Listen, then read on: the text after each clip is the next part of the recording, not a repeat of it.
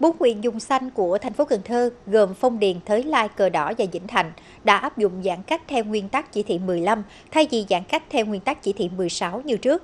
Những ngày đầu được nới lỏng giãn cách xã hội, người dân những địa phương này rất phấn khởi. Việc đi lại giao thương hàng hóa cũng thuận tiện hơn nhiều.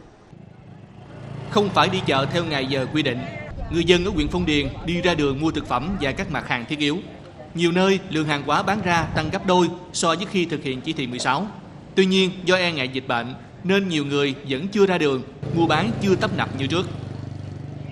Em thấy là mọi chuyện đều nó thông thương hơn chứ như mình đi chợ hay mua cái gì cũng dễ dàng hơn như bình thường nữa. Tại chỉ thị 16 thì đi vô ra thì nó hơi khó khăn hơn. Còn giờ thì nó thuận tiện hơn. Tăng hơn ngày được ít à. Giống như bình thường 10 kg thì giờ chừng có hơn 15 kg. Mang khẩu trang đầy đủ nhưng mà có một số người kỹ là dắt chiều người ta mới đi, ta hạn chế sáng. Hiện nay các chợ truyền thống tự phát vẫn tiếp tục tạm dừng. Người dân chủ yếu mua sắm tại các trung tâm thương mại, cửa hàng tiện ích và các điểm chợ trên phố. Các dịch vụ như hớt tóc, sửa chữa điện thoại đã mở cửa trở lại. Cửa hàng ăn uống được buôn bán tại chỗ nhưng hạn chế tập trung đông người. Riêng việc thu hoạch tiêu thụ nông sản đã tăng mạnh. Theo chỉ thị 15 này thì nó đỡ hơn 16 nhiều lắm. Có người dân có thể đi ra được của buôn bán giao thương với nhau được. Còn 16 thì coi như là trái cây bán không được luôn.